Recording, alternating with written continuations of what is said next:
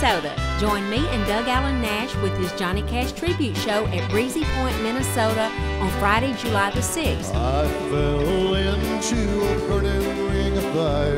We got married in a fever.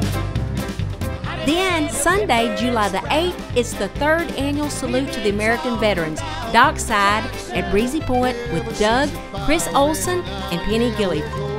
For more information, go to pennygilley.com.